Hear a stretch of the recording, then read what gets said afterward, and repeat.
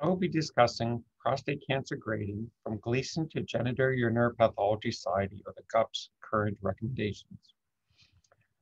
Gleason uh, grading was begun uh, in 1967, continued to 1973. Not much was done in terms of uh, changing Gleason grading until ISUP, uh, International Society of Urological Pathology Consensus Conferences in 2005 and 2014, uh, both of which uh, I was fortunate to have led. In 2014, uh, in comparison uh, the original Gleason diagram to uh, where we were after 2014, you can see that for Gleason pattern three, where the biggest changes were made, Gleason allowed various cribriform patterns and poorly formed glands within Gleason pattern three. And after the 2014 consensus conference, what we see here is that now Gleason pattern three is a very uniform population of glands uh, without any cribriform glands or poorly formed glands. So again, a very simple definition for Gleason pattern three, individual, well-formed, discrete glands. Here we can see an example where you can mentally draw circles around these glands and all of these glands have well-formed lumina. I typically grade at 10x using the 10x objective, uh, but occasionally at 10x, one will see an area where the glands are very crowded where it may be difficult to tell, are these still discrete glands or potentially are they fused glands? So if one goes to higher magnification, one can see that these glands still are individual and discrete, although in some areas almost back to back, still consistent with Gleason pattern three. The biggest problem in grading Gleason pattern three, and one of the biggest problems in general with grading prostate cancer, is in a case where it's Gleason pattern three, and then one sees a few apparently poorly formed glands. And the question is, are these true poorly formed glands of Gleason pattern 4, or could they just be tangential sections or outpouchings off of small well-formed glands of Gleason pattern 3? My approach is if there's only a, two or three of them, they're surrounded by well-formed glands, uh, including many that are smaller, uh, I would not call this Gleason pattern 4. So my personal preference is in practice, if it is borderline between a lower and higher grade cancer, I assign the lower grade so as not to uh, overgrade and potentially lead to overtreatment of a patient. The other thing I find helpful is to do levels to clarify. So here's a case that uh, there were just tiny cluster, just a few of what could be poorly formed glands, but on the other hand, potentially could have been a tangential section off of the tops of some of these smaller glands. So we did levels, or I looked at the levels, and when you look at the levels, you can see that these glands now open up. So this would be now a case of Gleason pattern 3. So I do find levels very helpful in some of these borderline cases. In terms of Gleason pattern 4, uh, basically in Gleason's error, they were for the most part irregular cribriform glands. What we now see is that uh, there's any number, uh, any cribriform glands uh, is pattern four, as well as fused glands and poorly formed glands. So one of the biggest uh, uh, things to come out of the consensus conference in 2014 was that all cribriform cancer glands are graded as Gleason pattern four.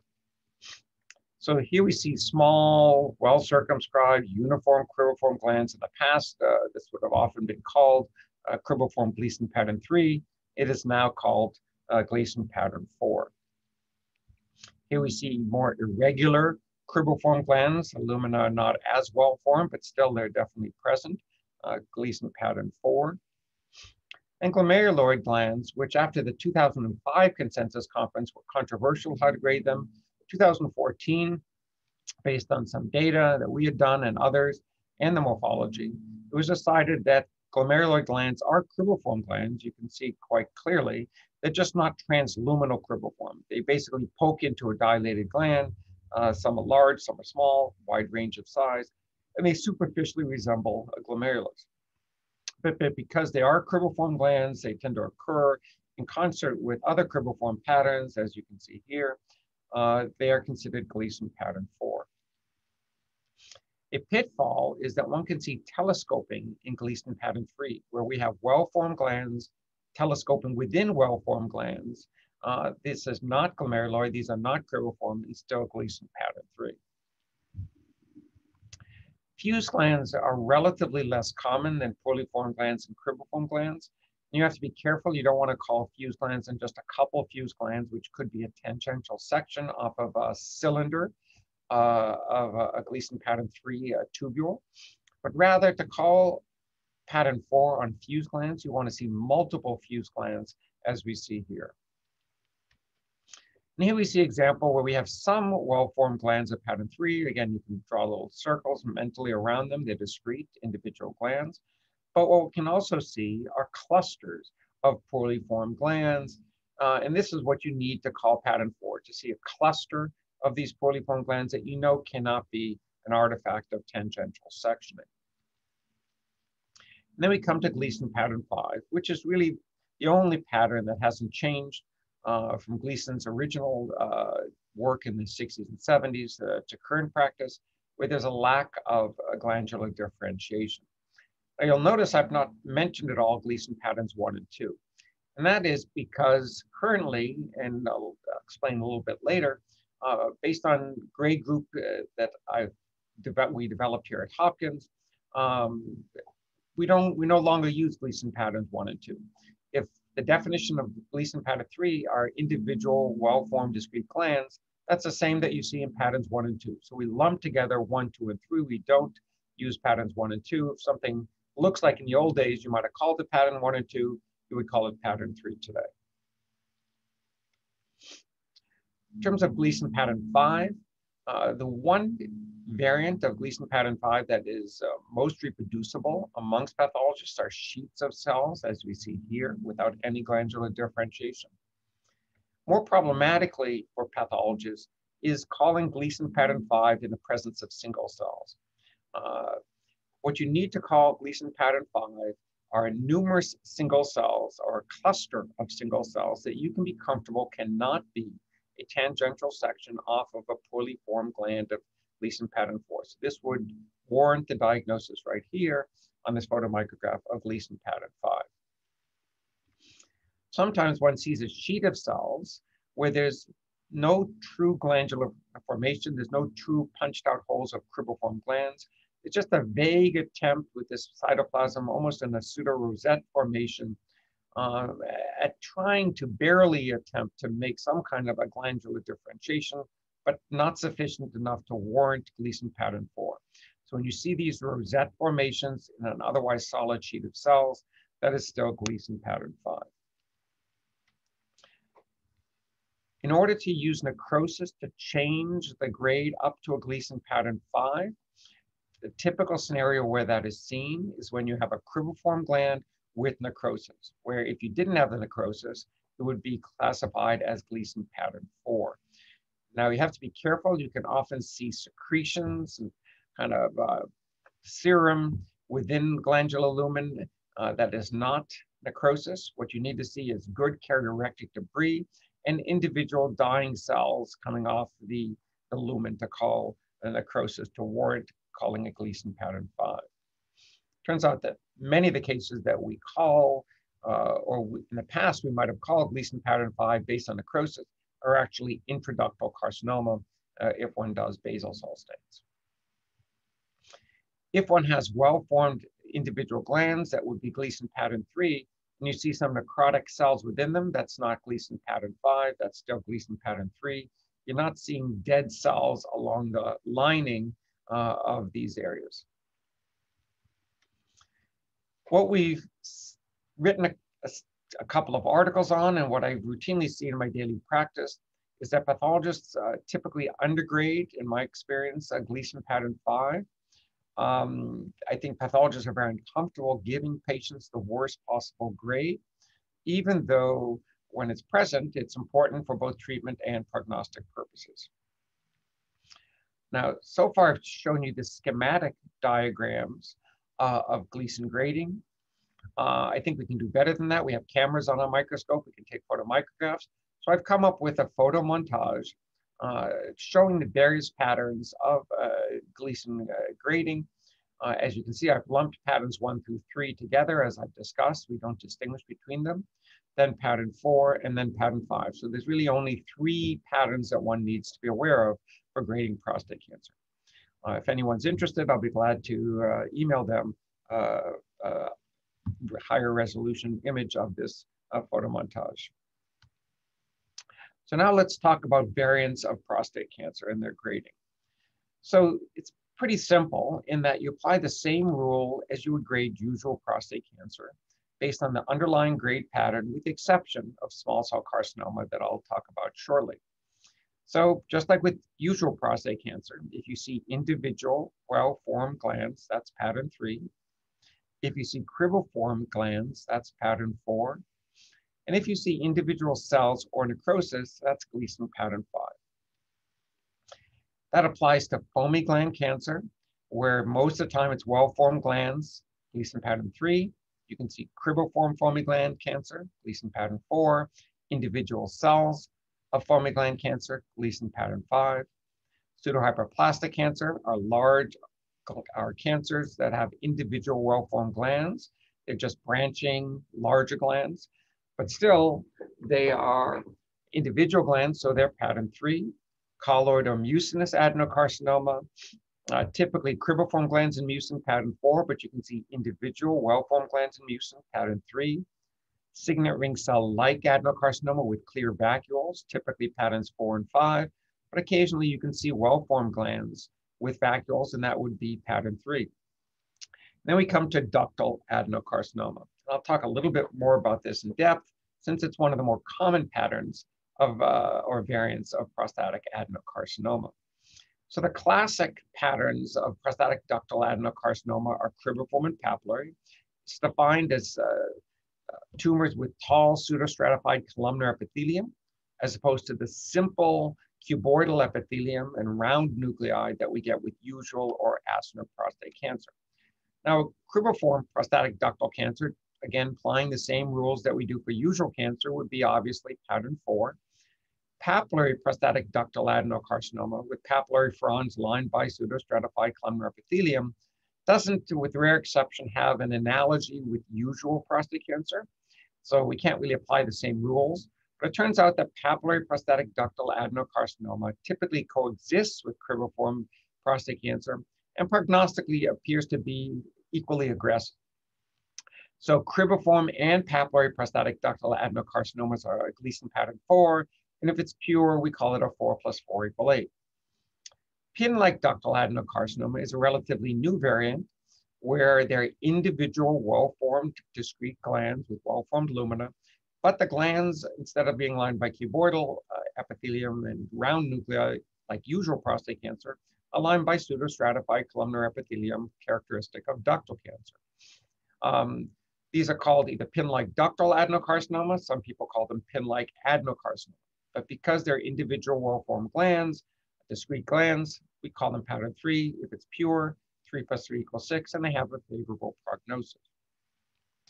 Ductal adenocarcinoma, if there's necrosis, would be warranted at Gleason pattern five, again, applying the same rules that we do with usual prostate cancer. Now, it's not uncommon to sometimes see mixed patterns or variants and the usual prostate cancer. And so basically you grade the variant, you grade the usual prostate cancer, you put it all together and grade it just like you normally would. So for example, if you had a needle biopsy core that was 60% uh, cribriform ductal adenocarcinoma, 40% usual Gleason pattern 3 adenocarcinoma, you would call that core a 4 plus 3 equal uh, 7 uh, with you know, prominent ductal features. Now coming to small cell carcinoma. Small cell carcinoma is a variant of prostate cancer that lacks glandular differentiation, but we don't call it Gleason pattern 5. It has unique histology, immunohistochemistry, and most important, clinically and treatment and prognostic implications that differs from what you would do with a usual Gleason pattern 5 prostate cancer, such that if we see small cell carcinoma, we don't assign a Gleason grade. Now, if you see small cell cancer and usual prostate cancer coexisting, which is not uncommon. You grade the usual prostate cancer, you note the small cell cancer, but again, don't grade the small cell carcinoma. One can also see cancer following radiation therapy or hormone therapy. Uh, if you see histological ordinary prostate cancer following hormone or radiation therapy.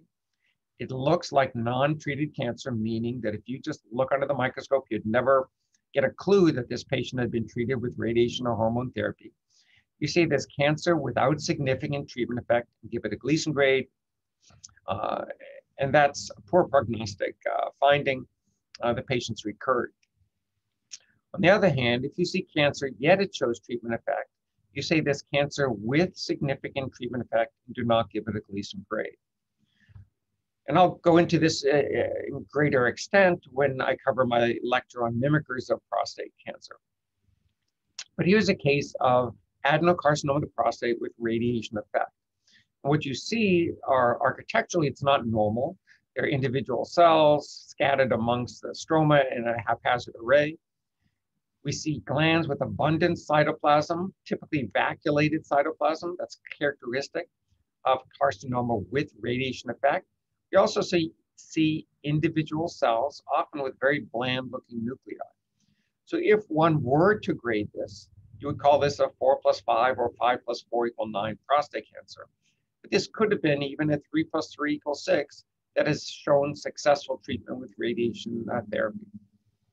So consequently, if you see, again, cancer with treatment effects, such as you're seeing here, you say this cancer with significant treatment effect and do not assign a Gleason grade. One can also see cancer that have been treated with cryotherapy, which is freezing the prostate, or HIFU, high intensity frequency ultrasound, which basically burns the prostate. And these are basically just mechanical destructions of the prostate, both benign and malignant. And when you see cryotherapy or HIFU, basically it causes infarction of both benign and malignant tissue.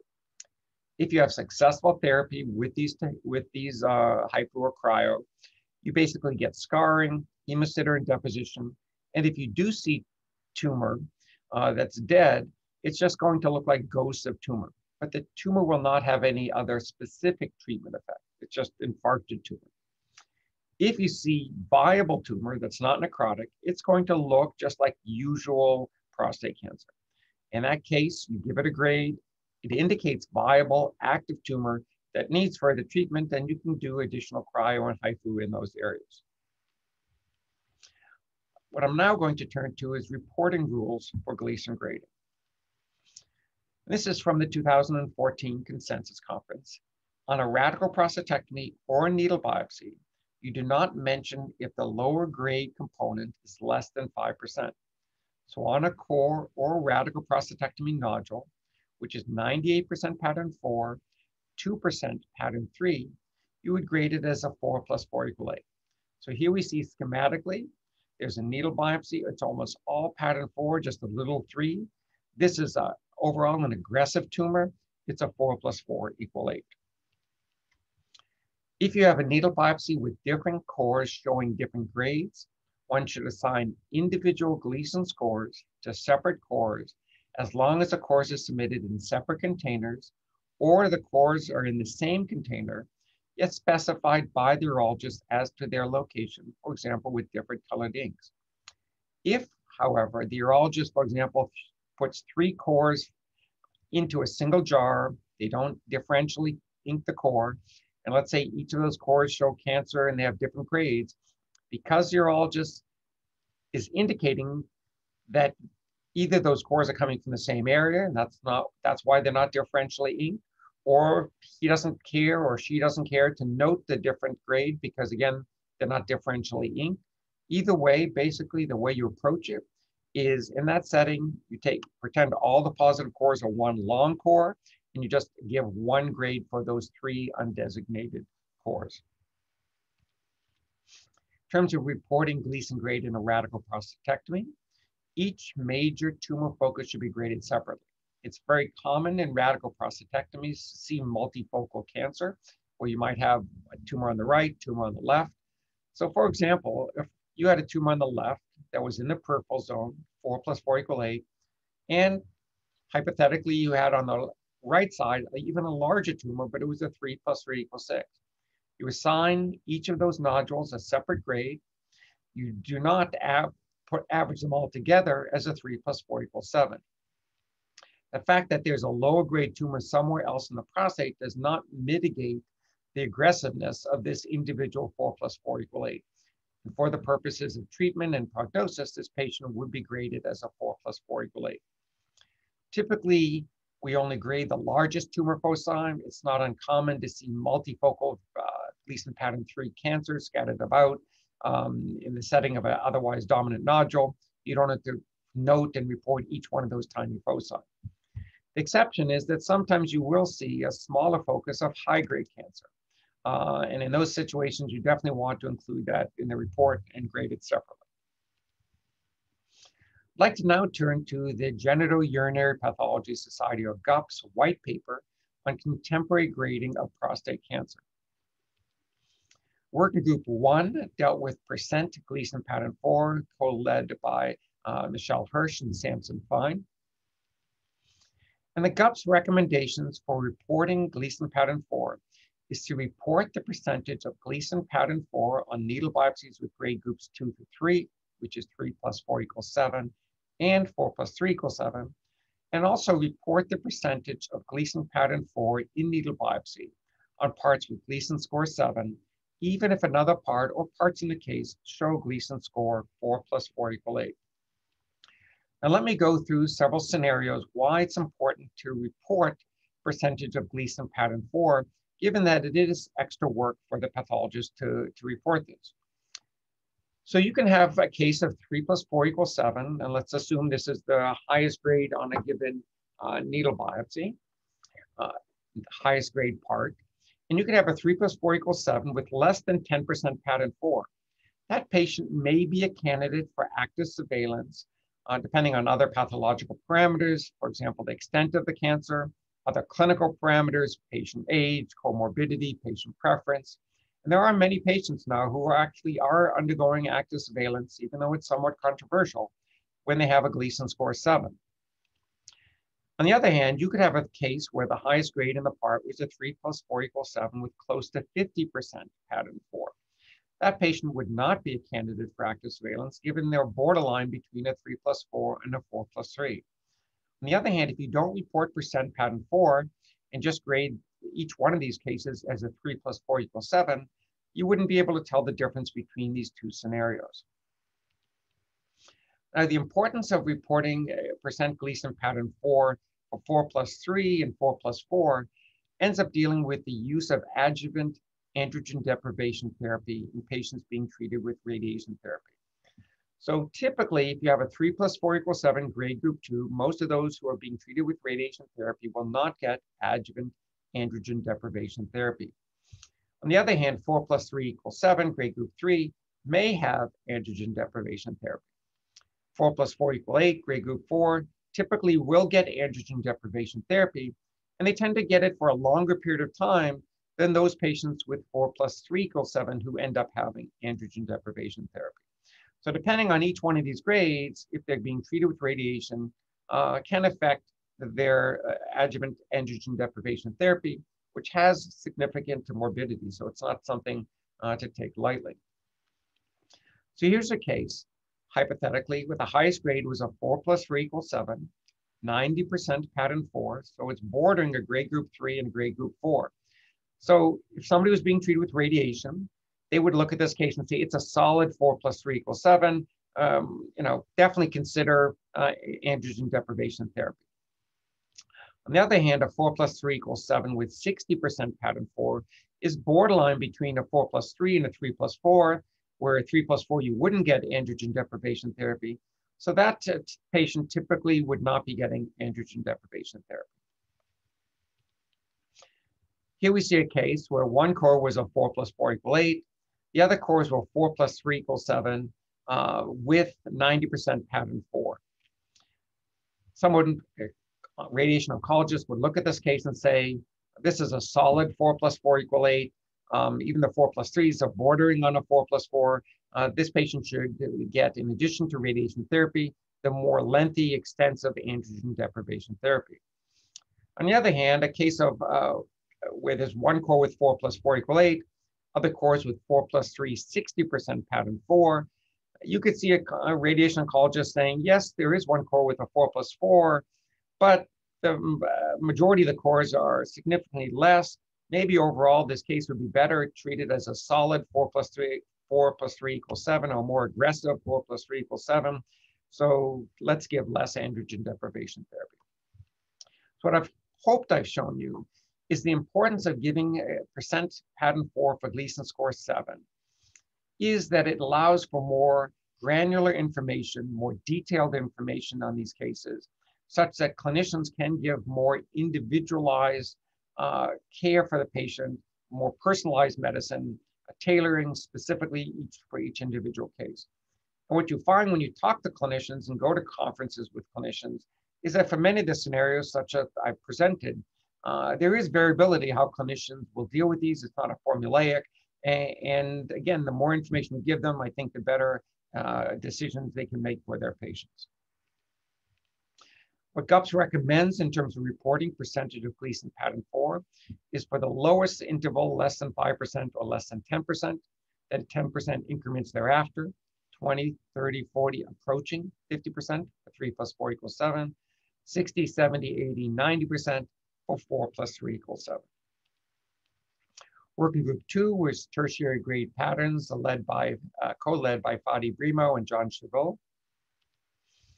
And GUPS recommends the new terminology, minor tertiary pattern five, to replace tertiary grade pattern. The key thing is not to use the term tertiary on a needle biopsy. So again, you just should never use that word on a needle biopsy. If you have a case with mostly three, a lesser amount of pattern four, and the least amount of pattern five, you grade as the most common plus the worst, that's a three plus five equal eight. Similarly, if you have mostly pattern four on a needle, lesser amount of three, least amount of five, it's a four plus five, most common plus worst. And the reason is any five on a needle biopsy is considered significant. You wouldn't want it to be lost in, in just a tertiary component note. Furthermore, any pattern five on a needle probably represents more than just a minor amount of tumor in the prostate, uh, given it would be unlikely to hit that little bit of five on a needle. And also five is an aggressive, rapidly growing component, and more likely ha has more five in there that just wasn't sampled.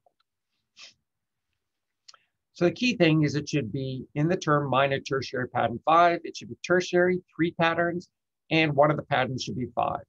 So in the radical prostatectomy, you only use it when there's three patterns, patterns three, four, and five. Again, we don't talk about patterns one and two. So in a radical prostatectomy, which is 98% Gleason pattern three, your nodule, your dominant nodule, and 2% pattern four, you would grade this, The GUPS would recommend grading this as a 3 plus 4 equals 7 with 2% pattern 4, not a 3 plus 3 equals 6 with a minor or tertiary pattern 4. Similarly, if the dominant nodule showed 98% pattern 4, 2% pattern 5, again, there's no three patterns here. Uh, GUPS would recommend grading this as a 4 plus 5 equal 9, not 4 plus 4 equal 8 with a minor tertiary pattern 5. Now, in that term, again, key factor is it should be minor amount of pattern five. So the only time you use minor tertiary pattern five is in radical prostatectomies with three plus four or four plus three as the dominant nodules with less than 5% pattern five. Here we can see a nodule where you had 50% pattern three 30% pattern four, and 20% pattern five. That's a not a minor amount of pattern five. That's a lot of pattern five. Uh, this is an aggressive tumor. Uh, so this should be called a three plus five equal eight. In terms of the effect of minor tertiary pattern five on gray group, minor tertiary pattern five is noted along with the Gleason score with a grade group based on the Gleason score. So you would say three plus four equals seven with minor tertiary pattern five, but the grade group still remains grade group two based on the score three plus four equals seven. It's not affected by the minor tertiary pattern five. Working group three was case level biopsy score, global versus highest, so with uh, Kiril Trpkov and Jennifer Gordetsky as the co-leads. In terms of MRI targeted biopsy, when there are multiple undesignated cores taken from a single MRI targeted lesion, an overall grade for that lesion is given as if all the involved cores were one long cord. They're all just a sampling one lesion, it should be one grade for that lesion, even if the cores are separate to have a different grade. Pretend again, they're all one uh, long core. If you are providing a global score, if there are different scores found in the standard and the MRI targeted biopsy, you give a single global score factoring in both the systematic standard and the MRI targeted positive cores. Where GUPS felt it required more data and a lack of compelling clinical rationale or prevailing practice patterns was whether to report a separate global Gleason score at the end of the report. Here we found in the survey of pathologists that there was geographical variation with 45% of non-United States pathologists reporting global scores versus only 16% of United States pathologists. So GUPS recommends it's optional to report a global score at the end of the case. Global score is basically what you consider to be the overall score for that case, factoring in you know, various parameters. Now, it turns out that clinicians, even if you do provide a global score, typically use the highest Gleason score in a given part as the case level score. Furthermore, there is a lack of consensus amongst those who do use a global Gleason score at the end of the report as to the optimal method of how to derive the global score. Working group four was an update on grade groups uh, led by Isabela Werneck Cunha and myself. Grade groups is the recommended terminology. It was first proposed in 2013 by our group at Johns Hopkins. The concept of grade group was endorsed but not developed by multiple societies, and the grade group nomenclature has been accepted by multiple organizations and associations. GUPS recommends to retain Gleason scores 3 plus 5 and 5 plus 3 equal 8 as grade group 4. It should be noted it is a very rare event. In a large multi-institutional study, including genitourinary pathology experts, out of almost 21,000 radical prostatectomy specimens, there were only 0.2% of cases with 3 plus 5 equal 8 and only 0.02% with Gleason scores 5 plus 3 equal 8. And in the same study, out of over 16,000 needle biopsy cases, there were only 0.3% with a Gleason score 3 plus 5 equal 8 and only 0.04% with Gleason scores 5 plus 3 equal 8. This is the typical case that I would call a five plus three equal eight, for example, where one has individual cells of Gleason pattern five, and then a very abrupt trans uh, uh, demarcation between that and individual well-formed glands of Gleason pattern three. What is the typical scenario is that when one does see individual cells of Gleason pattern five, it's almost always admixed with a significant component of poorly formed glands of Gleason pattern 4, such that even if you do see some well-formed glands in that case, most cases with individual cells of Gleason pattern 5 would be graded as a 4 plus 5 or 5 plus 4.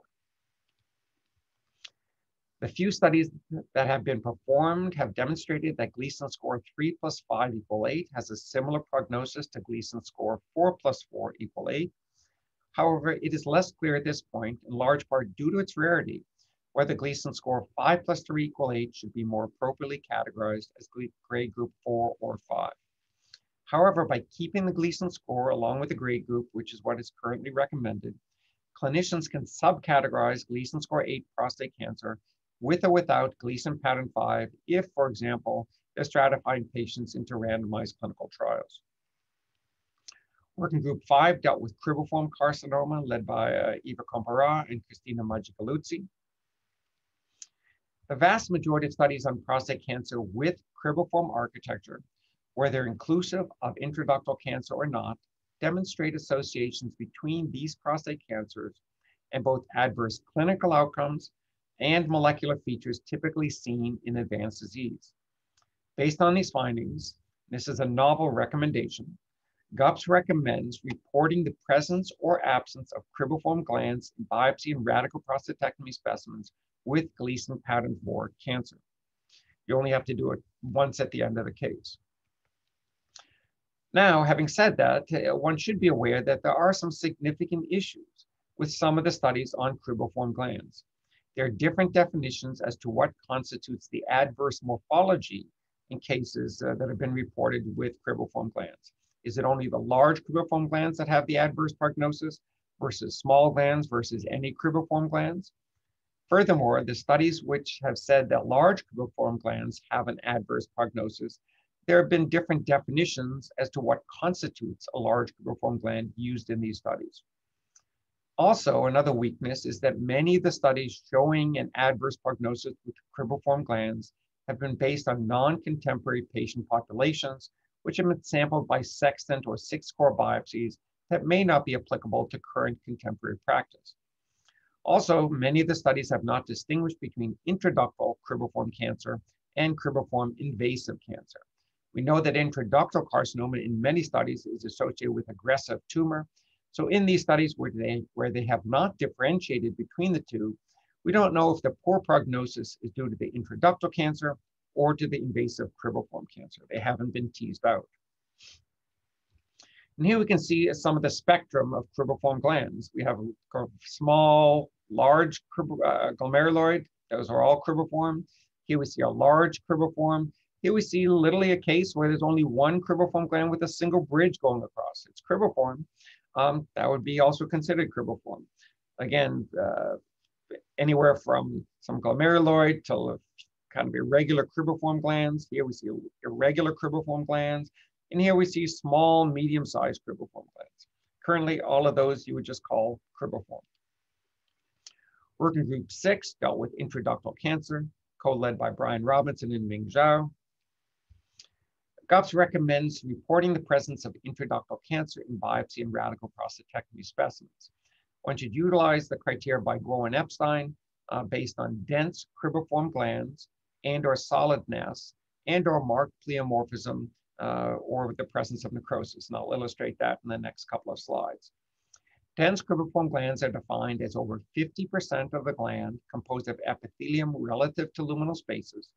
And in cases where the ratio is approximately equal, it's prudent to be conservative and diagnose the lesion as not meeting the full criteria for intraductal cancer of the prostate. And GUPS recommends in those situations using the terminology atypical intraductal proliferation or AIP. When intraductal cancer is identified on prostate biopsy, in the absence of concomitant invasive adenocarcinoma, the pathologist should add a comment stating that typically intraductal cancer is usually associated with high-grade prostate cancer. Here we see intraductal cancer with dense cribriform glands, where there's more epithelium relative to the lumina and surrounded by basal cells. Here we see a case on the top intraductal cancer with comedonecrosis, again, basal cells present. And on the bottom, a case of intraductal carcinoma with marked cytologic atypia, much more than what one would see with high-grade PIN, again, with an intact basal cell layer. GUPS recommends performing immunohistochemistry for basal cell markers when the biopsy shows Gleason score 6 cancer and cribriform glands that include a differential diagnosis of intraductal cancer versus Gleason pattern 4. It is not necessary to perform basal cell immunohistochemistry on needle biopsy and radical prostatectomy specimens to identify intraductal cancer if the results of the stains are not going to change the overall highest Gleason score or grade group for the case. Let me emphasize, this is the vast majority of cases. The vast majority of times when you see some cribriform glands and you're not sure are those cribriform glands intraductal cancer, or maybe it's infiltrating cribriform cancer, most of the cases have overt invasive high-grade cancer elsewhere, leading to an overall high grade for the case, regardless of those other equivocal cribriform glands. And in that scenario, I wouldn't do special stains, just grade those equivocal cribriform glands as invasive cribriform cancer. It's not going to change the case. It's not worth doing stains on multiple parts. There are a minority of cases where you might have to do basal cell stains, even on multiple parts, if the issue of whether those cribriform glands are intraductal cancer or invasive cribriform cancer. And knowing that difference would change the overall uh, grade for the case. But again, that's a minority of cases. GUPS recommends not to include intraductal cancer in determining the final Gleason score on the biopsy and or radical prostatectomy. It's problematic to grade intraductal cancer as Gleason pattern 4 or 5 cancer in a small subset of cases associated with only low grade, grade group one prostate cancer. with, or there's no evidence of invasive cancer. I'll illustrate some examples of that next. Intraductal cancer in this setting may represent a precursor lesion, not necessarily, again, representing uh, retrograde extension of high-grade cancer into ducts. And in this setting where intraductal cancer is a precursor lesion, uh, patients have a significantly better prognosis than intraductal cancer associated with high-grade invasive cancer. For example, take a case of a 4 plus 3 equals 7, grade group 3, and this intraductal cancer showing comedonecrosis. necrosis. If you included the intraductal prostate cancer with the grade, you would grade it as a 4 plus 5 equal 9, grade group 5. However, there's no data to support this marked increase of grade in this setting. There are cases that have been reported in series, uh, again, uh, some of them by us, uh, some by others, uh, where you have intraductal cancer and a radical prostatectomy only, no invasive cancer, prostate serially section totally submitted, basal cell stains done in every section with these cribriform glands, and this patient's 100% cured. Um, there's no invasive cancer, just like in any other organ system. Um, now, if you were to grade this case, you would call it a four plus five equal nine, and this patient may get adjuvant therapy and would be uh, given a horrible prognosis. Here's a case in a radical, again, totally embedded, uh, stains done on every block with tumor, where there was extensive intraductal cancer with necrosis, and only a small focus uh, that there was Gleason pattern three. So again, if you were to grade the intraductal cancer, you would call this a four plus five equal nine. Same thing, horrible prognosis, maybe extra adjuvant therapy. That would have been incorrect. The prognosis is based on the only the invasive cancer, and that's a three plus three, and this patient should have a much more favorable prognosis. So in summary, there are controversies and uncertainty that persist in prostate cancer grading. The first prostate cancer grading recommendations from the Genitourinary Pathology Society GUPS addresses these areas.